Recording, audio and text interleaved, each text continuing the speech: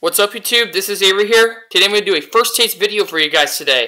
It's been a while since I made a first taste video since I reviewed Game Fuel, the lemonade and citrus cherry. They're both very good. I like the citrus cherry better, but still lemonade's very interesting in my opinion. So if you see my vlog video, please check it out. Um, today I'm going to do a first taste video of, it's a tea actually.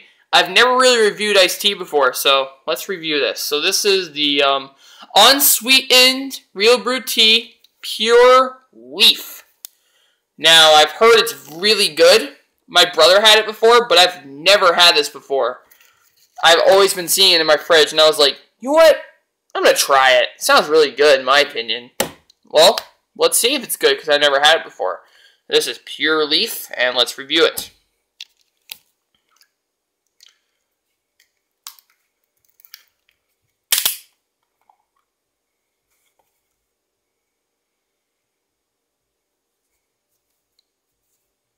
Got some like tea right there.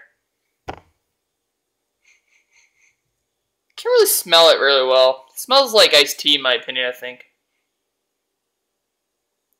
Oops. Just got off, so three, two, one.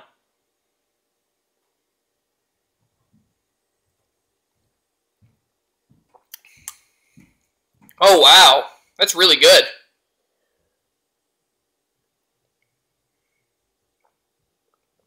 It's made by Lipton, and um, it's unsweetened, which is a good thing because sweetened tea is bad for you, but unsweetened is really good for you.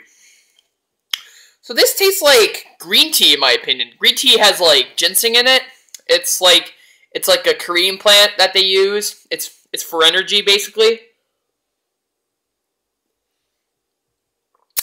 I'll definitely have these more often. These are really good.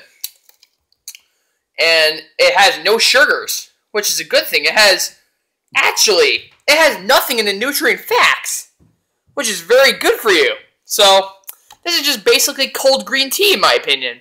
It's really good. So, I'd give it a 5 out of 5 rating.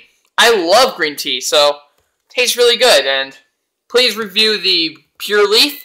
And this wraps up the video, so peace out, guys.